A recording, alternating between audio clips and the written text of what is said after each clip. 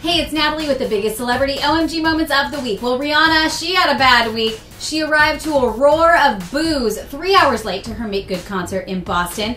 Her 777 tour documentary got horrible reviews and ratings, and she broke up with Chris Brown because he met up with his ex behind her back, though I'm sure the two of them will get back together.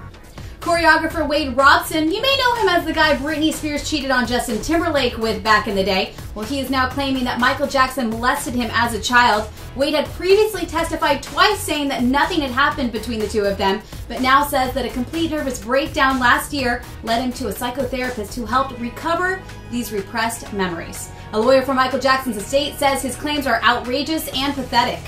And lastly, the sheriff's investigators are urging the DA to charge Justin Bieber with battery. You may remember Justin's early morning Ferrari racing led him to a heated argument with his neighbor who claims Justin spit in his face and threatened to kill him. Well, law enforcement basically thinks Justin needs to be taught a lesson before it's too late.